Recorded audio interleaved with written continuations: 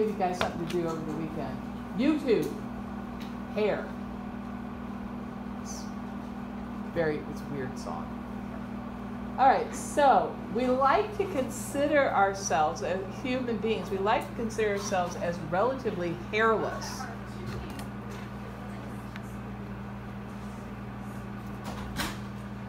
Compared to other animals, we do at least seem to be relatively hairless. The truth is that we do have hair on most areas of our body. It's easier to list the places we don't have hair than the places that we do. We do not, for example, have hair on the palms of our hands or on the soles of our feet. We do not have hair on the sides of our fingers and toes.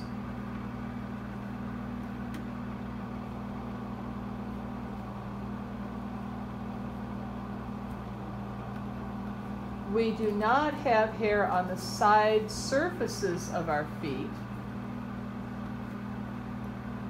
Top of the feet, yeah. Sides of the feet, no. We do not have hair on our lips, on our nipples, on the labia minora.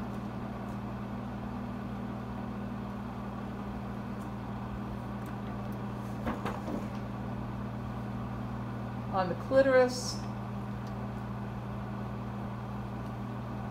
on the glans of the penis, or on the foreskin of the penis.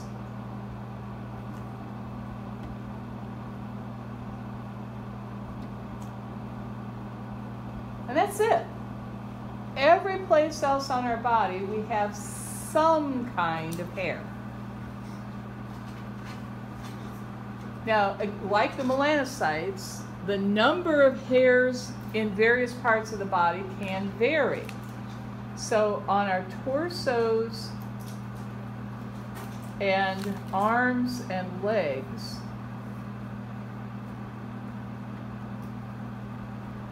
we typically have about 55 to 70 hairs per square centimeter. But on the face and scalp, as you might imagine, the number's a little higher. It's between 600 to 800 per square centimeter.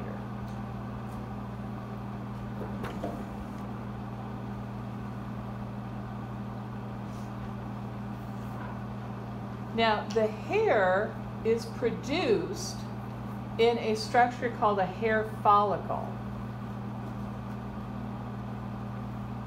And your textbook has very detailed illustrations of the anatomical structure of a hair follicle. But the only one I got as a transparency was this one, which is at pretty low magnification.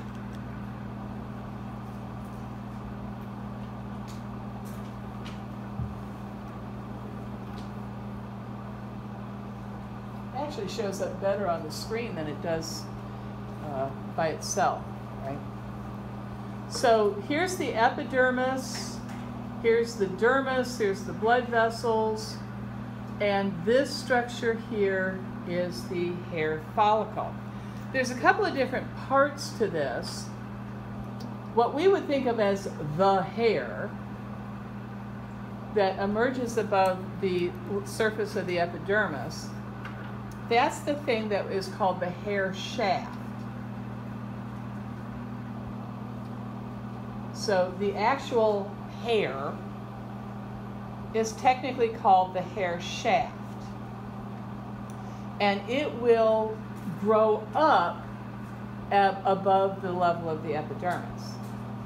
The lower portion of the hair follicle is called the hair root.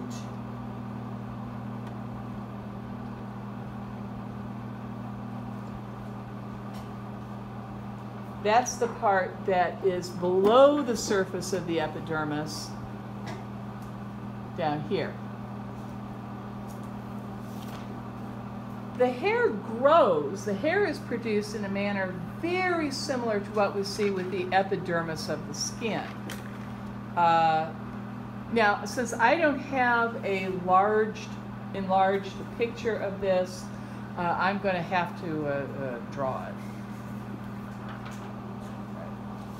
So down at the bottom of the hair root is an area called the hair bulb, which is where the hair is actually being made.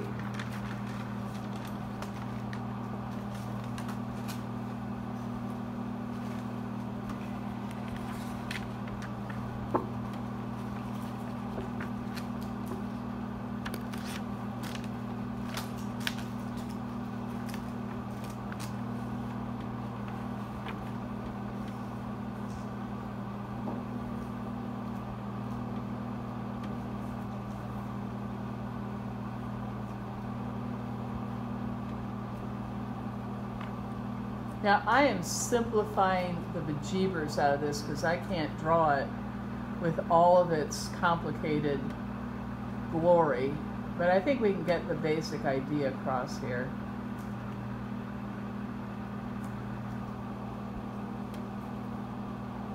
Most of this hair bulb is epithelial tissue.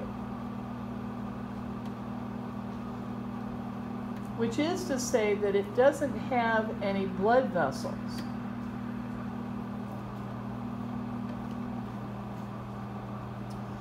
But you'll notice it's got this kind of weird bell-shaped structure.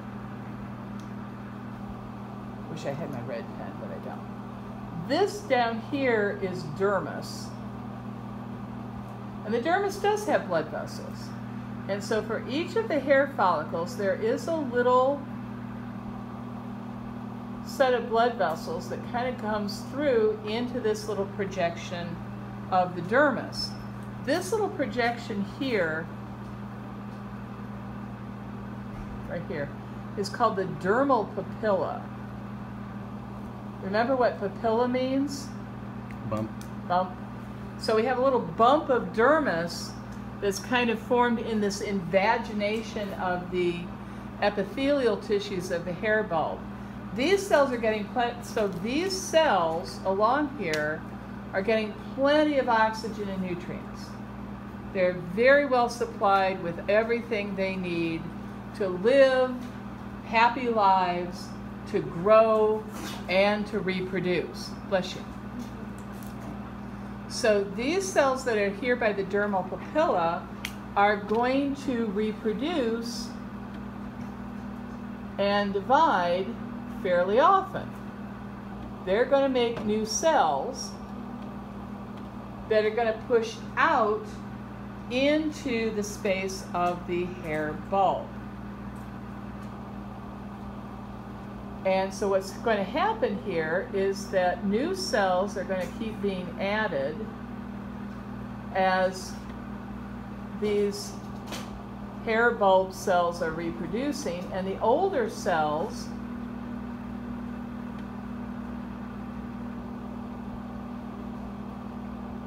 are going to get pushed up away from the papilla and compacted together. These cells are very much like keratinocytes. They make that same protein keratin. So as these cells from the hair bulb mature, they're making keratin, they're becoming dehydrated, they're flattening out and compressing together.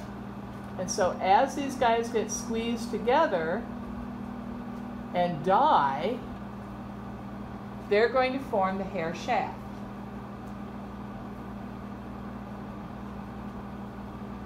So they're going to flatten, they're going to dry out, they're going to die, they're going to get compressed. They are now going to form the hair shaft, which is going to keep being added onto from below. So as new cells are added, the older cells, the shaft cells, are getting pushed up the length of the follicle.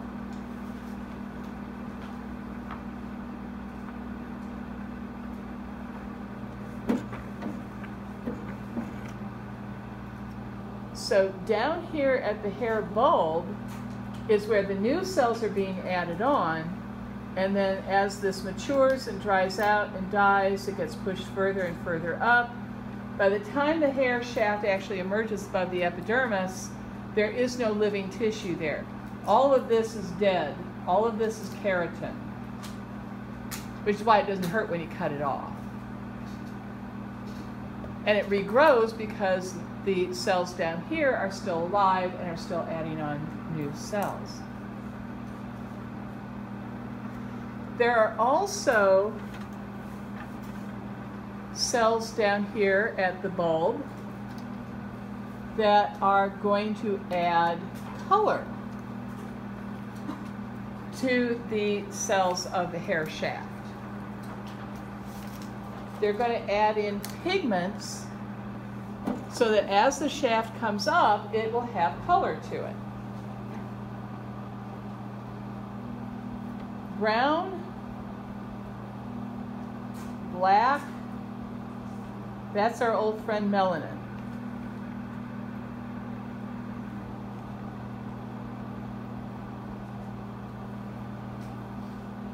Blonde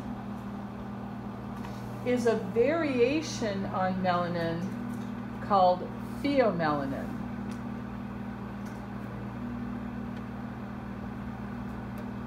It's like a, a, mutated form of melanin that isn't quite so brown. So it comes across macroscopically when we look at our, our hair with our naked eyes as kind of a yellowy color. Red is a pigment called trichosiderin.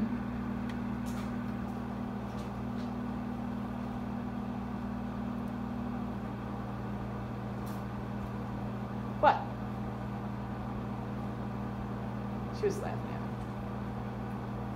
Now, these are controlled by different genes. So a person can have the genes for brown, black hair, brunette hair, they can also have the genes for blonde color. If they've got both, the brown color will kind of tend to disguise the blonde, although they might have highlights.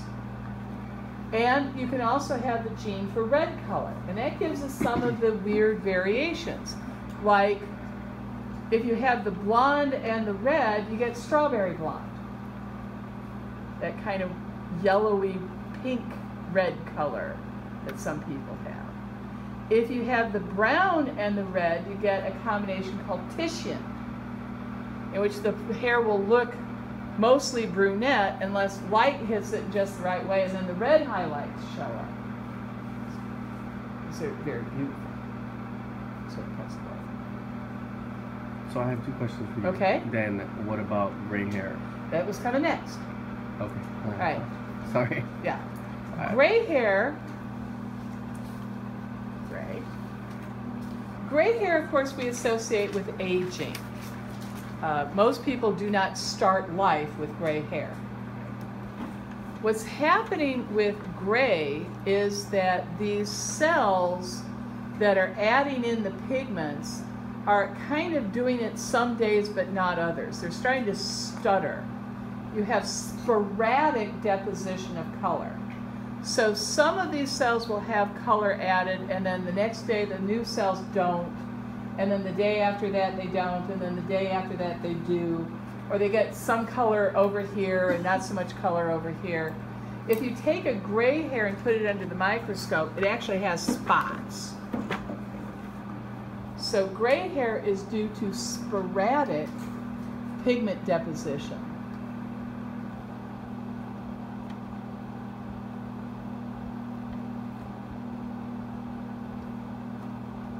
And this is, like I said, this is, comes with age. That the cells are just becoming senile, they're becoming forgetful, uh, they, they, they took the day off. In what?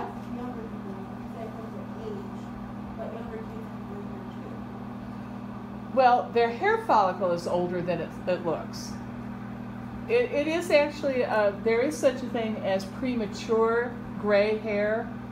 And so even young people may have the occasional gray hair starting to come in. mine started to turn that gray color when I was 25. Yeah, it it's runs in my family. Everybody in my family gets premature gray hair.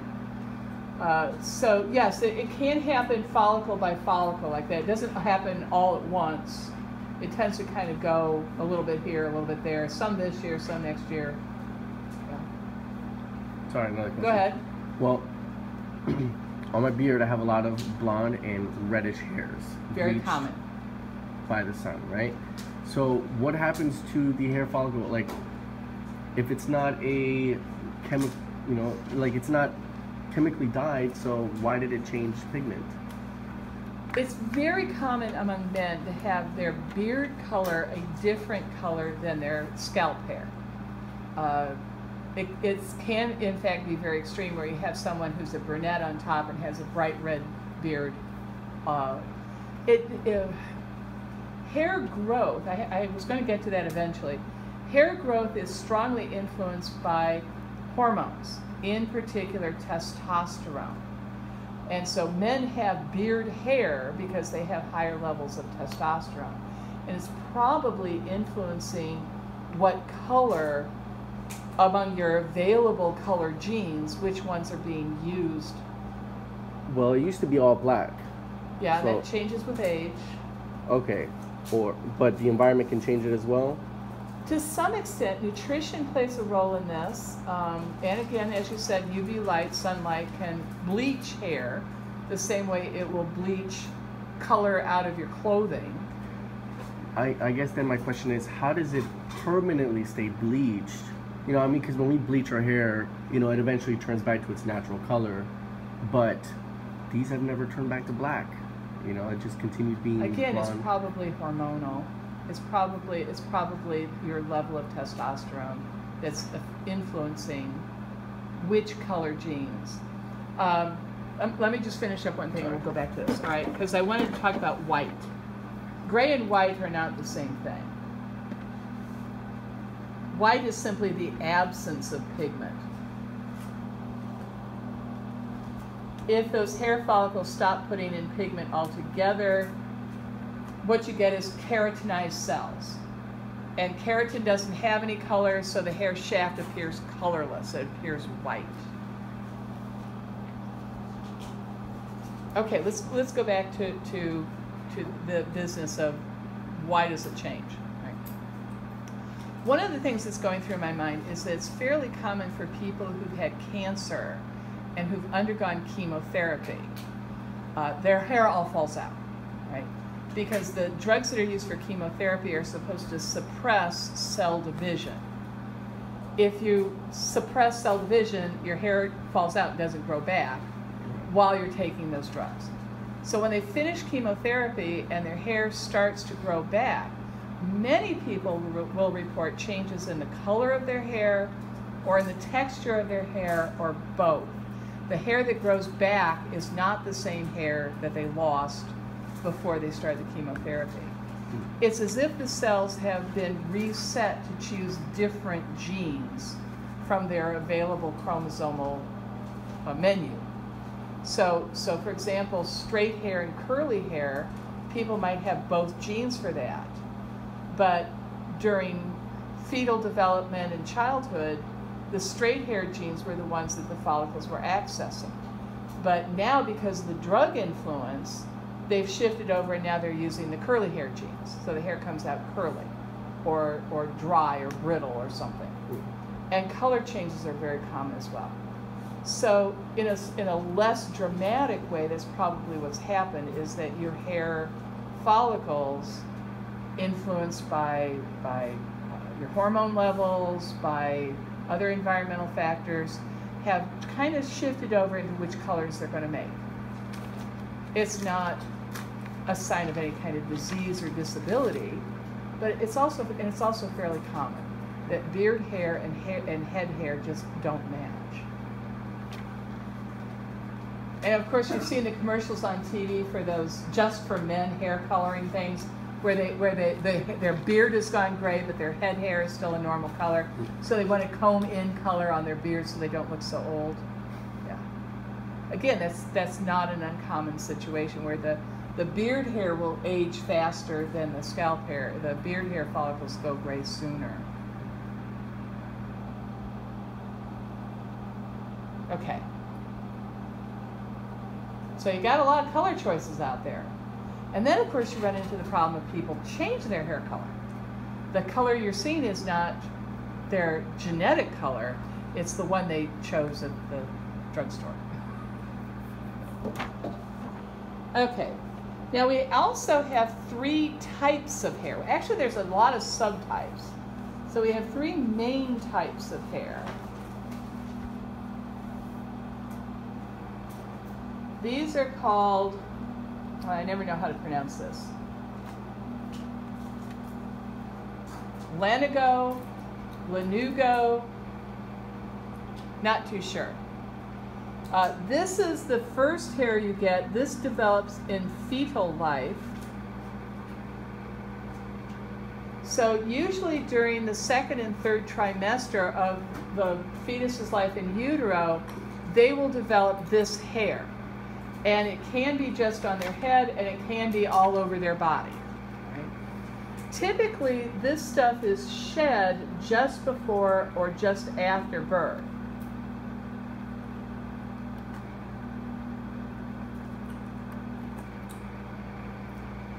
The baby may be born with this hair, and the parents get all excited because they're like, oh, my baby is so smart, my baby is so evolved, my baby was born with a full head of hair.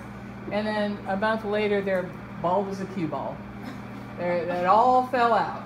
And they're, then they're not quite so chatty anymore about how wonderful their baby is with all the wonderful hair.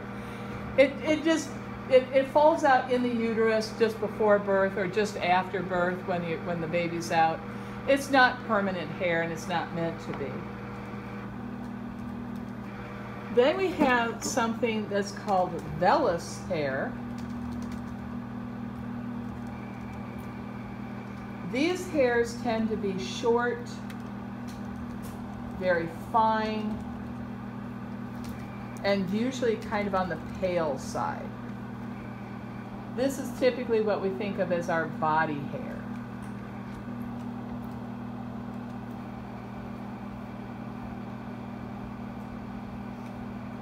And then we have what's called terminal hair.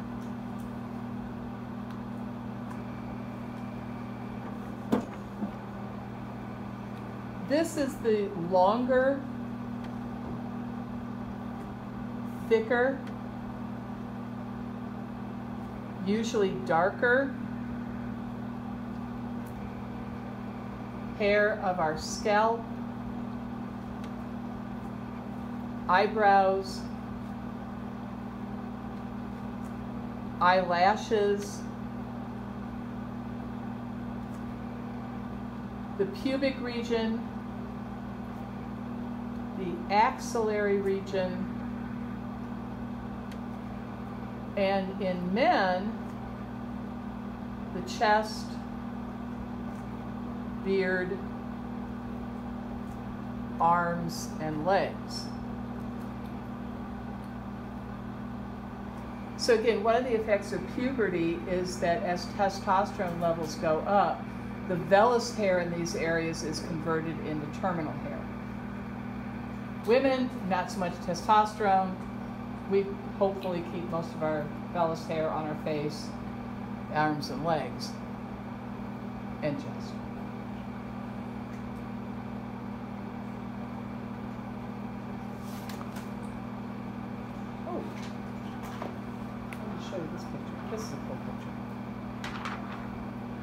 I was going to show this to you a little while ago and I forgot. It was sitting right here in front of me. All right, this is a super high magnification uh, electron micrograph of a hair shaft uh, just as it's emerging above the epidermis.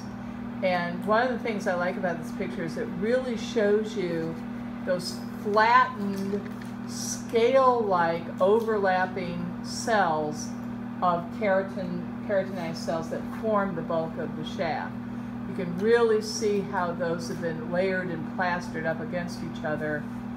And they're very tough and they're very um, firmly attached to each other.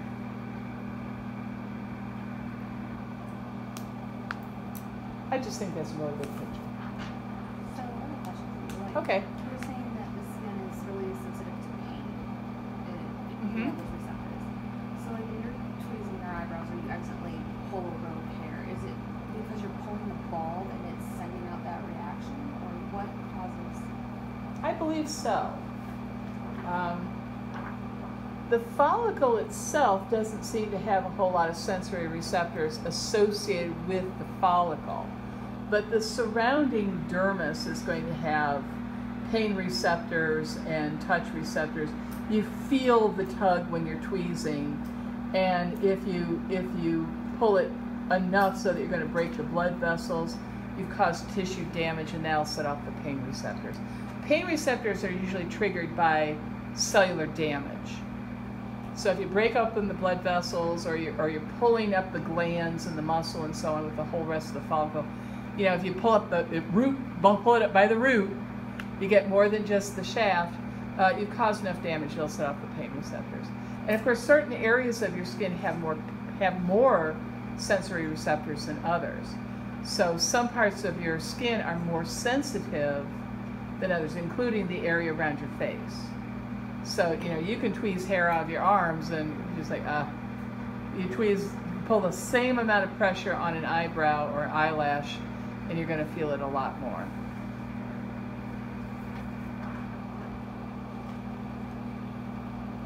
All right, growth, hair growth.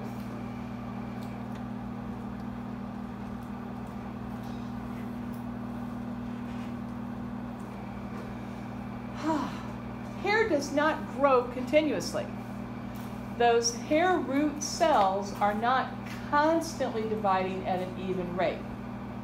It kind of goes in cycles. So we have periods of rapid growth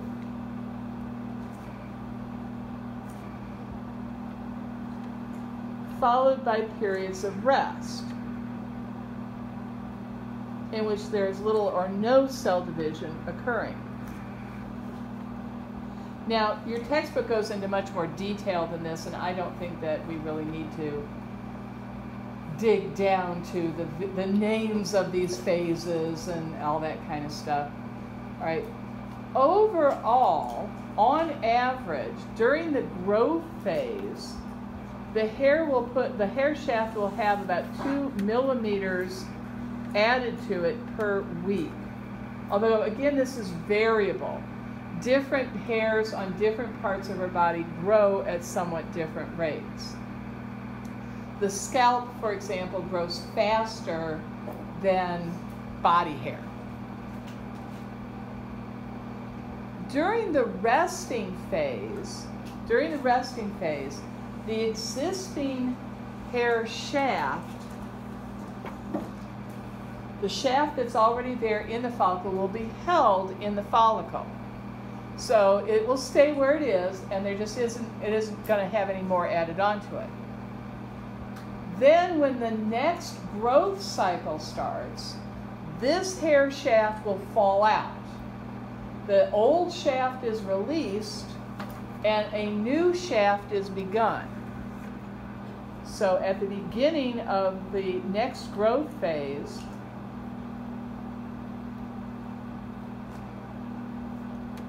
the old shaft is released and will fall out.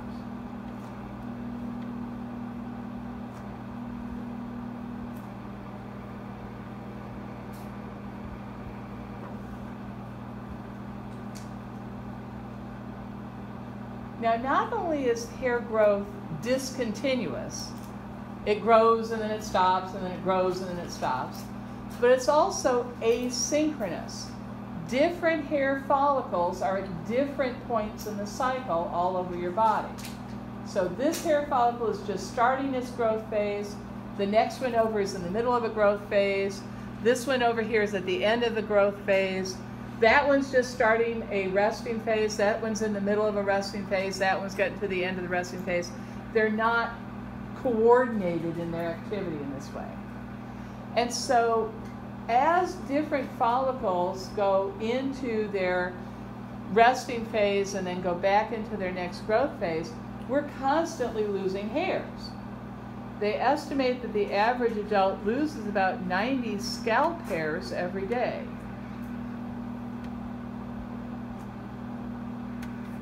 And like dander, you're probably not aware of it. You, you, you shake your head, you run your fingers through your hair, you brush your hair, you comb your hair, you wash your hair, you lie down in your bed, you get back up, you lean back in the Barcalounger, you get up to get a beer. You know, you're, you're, as you're moving around, the hair comes out, and you might notice one or two on your shoulder, or you might notice a few in the hairbrush, but you're not really aware that you're losing 90 every day. It just kind of doesn't really make an impression. It certainly seems like you lose a lot more than than it grows. Like when you notice when you take a shower and you just like you know what I mean? Like Well, I, you're a guy. I don't know. But It's it's it's different for men because there's this little thing called male pattern baldness. Yeah. So men men your age are actually losing more hair if they have the if they're genetically going to have male pattern baldness. It's a genetic condition. well even You actually are losing more hair than you're growing back. uh, I can I can sympathize with you because now that I'm past menopause, my hair's coming out too. Mhm. But you're going to keep yours for another 20 or 30 years, so aren't you happy? So yeah, but it's yeah. When you say, doesn't it seem like I we're lo- uh, what what's the we Kimosabi? It's you. All right. This the length of the growth cycle varies a lot. With scalp hairs, an entire cycle can go anywhere from four to eight years. While other terminal hairs like brows and lashes will have a growth cycle of only three to four months. That's why the hair on, the, on your head gets so much longer than your eyebrows and eyelashes because it's going to grow for, say, six years before it stops. Whereas your brows and lashes are only going to grow for a few weeks before they stop. And then they're going to fall out a lot faster. So actually, you use, lose eyebrows and eyelashes a lot faster than scalp hairs. So the people that are like in the Guinness Book of Records and stuff like that who have Enormously long hair. is that just like a genetic abnormality that they can grow it that long? You know, I get asked about that. Um, right now, there's that commercial on TV with the guy who's got hair that's like 30 years Oh long. yeah, yeah. Was Yeah, it What, that what are they Geico, selling isn't in it? that commercial? Isn't it Geico? I'm pretty sure it's Geico. Okay, yeah, you're probably right. It's probably Geico. They have the weirdest commercials. Uh, but in real life, uh, one of the famous people for having really long hair is the country western singer um, Crystal Gayle. Uh, her hair, the last time I saw a picture of it, actually reached all the way down to the floor. Uh, she claims that it's because of her routine of hair care. That she doesn't brush or comb it every day, because that obviously is going to put enough pressure to yank them out. Uh, that she she wears it in a braid unless, unless she is displaying the hair, and that she's taken like she uses special products and takes really really good care of it, and gets plenty of sleep, drinks plenty of water, has a healthy lifestyle. She's a music person, and you kind of wonder about. Mm. Don't they all do drugs and oh. stay up all night? Yeah. Aren't- Aren't they all kind, and uh, country western people? I mean, you know, Willie Nelson, come on. So, but she claims it's because of her routine for hair care, that she's she's taking special care not to cause any breakage or damage, and that she's also not putting a lot of pressure on her scalp. It does seem to be an abnormality. Most people can't grow their hair that long, no matter how hard they try. It will fall out. So hair down to your waist or down to your to your buttocks is about mo- what most people can manage. And now, how come braiding stimulates hair growth or makes it grow faster? I don't know that it does, but it does prevent damage or breakage. So so it kind of puts the hair together so it's protected from abrasion you know, you don't brush, you don't brush your braid, you don't, you don't comb out your braid. Uh, it does seem, it does seem to protect, I don't know that it actually makes the hair grow faster, but it does keep it from breaking off, which will also appear as if the hair has gotten shorter. Okay. What's that saying? Isn't there such a thing as like an eyelash mite or something like that? Yes, there is. It's supposed to help keep the lash that's like overgrown. They don't help with that. Uh, they're they're a, a symbiote that lives down in the hair follicles of your eyelashes and eyebrows. They're little microscopic mites, and they feed on the oils and the dead skin cells, but they're not helping you in any way. They're not. There's no benefit to them. Actually, like they help to like. Yeah, they just they they just they just live on you. They're freeloading. That's exactly right. They're just you're secreting stuff that they will eat. So they climb down in there and they just live in there. But they, They come out at night and crawl around on your skin and breed, and then they go back in during the morning. So, but they, but then they have to do waste products as well, Yeah. don't they? So what do they produce on us as a waste product? Well, we haven't talked about the glands yet, but your hair follicles also have sebaceous glands, and this oil will kind of flush out their waste across your skin. So their their waste is probably part of the oil on your face. Okay. No, I'm just That is that is the recommendation that if you if you don't like the idea of having follicle mites, that soap is supposed to be the most effective agent against them. Wash your face with soap at least once a day. Get it get onto the eyebrows and the eyelashes so the soap will, will and they, they don't like it, so you'll reduce the population. May not get rid of all of them, but at least they won't be hundreds of them crawling around your face at night. Yeah, but isn't that also like horrible because it starts to dry out your skin and causes it to not produce? Well, you can have dry skin or you can have mites.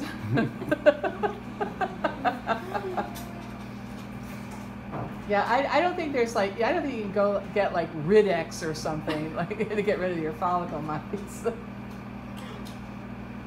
All right.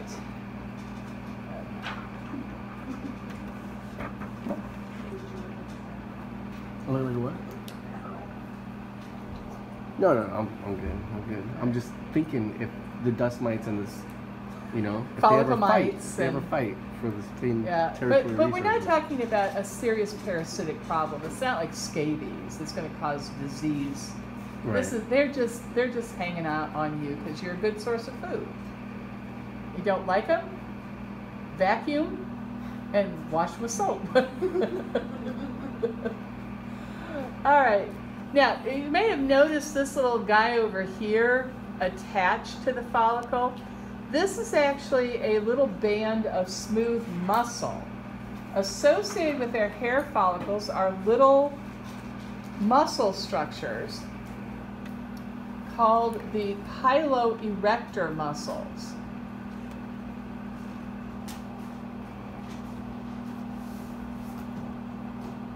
Also called the erector pili muscles.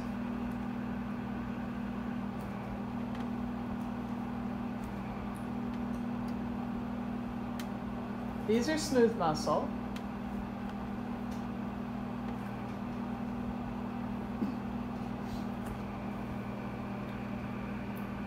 One end of the smooth muscle structure is attached to the hair follicle, and the other, the other end is anchored into the collagen fibers of the dermis. And you'll notice that they're kind of at an angle here. okay? Again, uh, I apologize for the fact that I can't draw, right? So when you are just looking at your hair, on your arms, in your, on your legs, typically the hair is emerging from the epidermis at an angle. So the hair lies down sort of flat. Now, these muscles are at an angle. And muscles contract, they, they get shorter. When the erector pili muscles or piloerector muscles contract, the overall effect is to pull the follicle into a more upright position.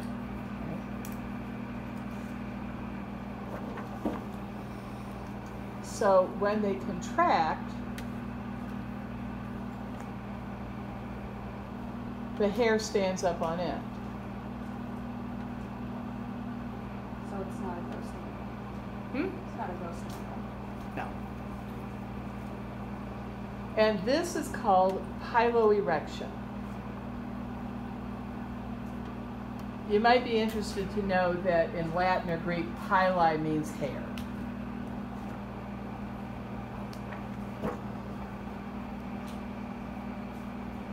Now, other animals have this feature as well.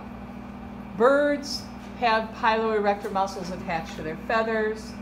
Mammals have piloerector muscles attached to their fur or their hair. So when these muscles are stimulated in birds and mammals, what we get is the hair is going to end up trapping little pockets of air between the skin and the hair. The warmth of the skin will warm up this air pocket and it provides a form of thermal insulation. The hair will keep the air trapped against the skin so that wind isn't going to blow it away. And so you're going to end up with this nice little pot, this layer of warm air right against your skin It's going to help keep the bird or the mammal warm when it's cold. Uh, our hair isn't thick enough to do that. Piloerection in humans will occur when we get cold. You walk into a room that's chilly, your hair stands on end. And you can see the effect because as the muscle pulls on the hair follicle and the skin, it raises these little ridges on the skin that we call goosebumps. Some people call them goose pimples. Some people call them goose flesh. We have the same reflex to being cold as any bird or mammal. But because our hair is thin and wispy and short, it just doesn't do us any good at all. So we get piloerection, but we don't get any thermal insulation out of it. So cold is one of the things that will trigger this. Another thing that will trigger piloerection is fear or other strong emotions such as anger, but mostly fear. When you walk into the room and your cat wasn't expecting you, they get all fluffed up, right? Or when, when the, your dog hears a, a noise outside and they start barking and growling, their hair stands up. They're angry, they're fearful, they're, they're upset emotionally. That makes their hair stand on end. Again, it works for us too. Human beings get fearful, they get anxious, they're watching a scary movie, they're trying to get through the parking lot when all the, the lights have gone out. You get worried, you get nervous, you get anxious, there's buggers, there's rapists, there's there's burglars, there's murderers, there's pirates. You know. Your hair stands on end. People say, Oh, I felt the hair on the back of my neck go up. I was so scared. Oh, the, my, my flesh was just creepy because I was so scared. Now, in animals, birds and mammals, this kind of reaction makes the hair stand all the way out. It gets all big and fluffy, and the animal looks bigger, right? By getting themselves all fluffed up like that, they look less like lunch and more like a threat. Don't you mess with me, predator. Don't you mess with me. I can take you on. I'm too big for you to take this snack on. again, with human beings, we've got no threat display. Our hair's too thin, it's too wispy, it just doesn't work. We get the same reflex response. Our hair stands up, we get the goosebumps, but nobody else can see it. so you look just as much like a snack to that to that uh, cougar, uh, that Florida panther, the the you know 16 foot alligator. They don't care how much hair, your hair is standing up on end; they can't see it. So it, it doesn't work as a threat display. It doesn't work as thermal insulation, but the muscles are there and the reflexes are there, and it works the same way as it does in your dog, your cat, or your pet canary.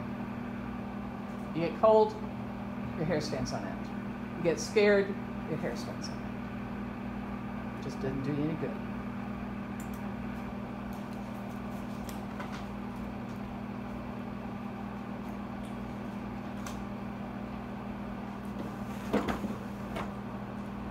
So that pretty much takes us through hair.